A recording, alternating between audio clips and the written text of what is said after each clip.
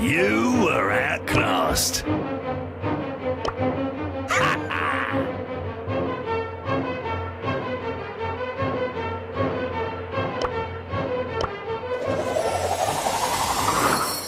Time to show the kids how it's done.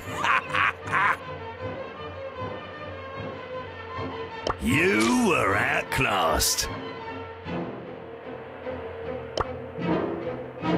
for an argy bargy!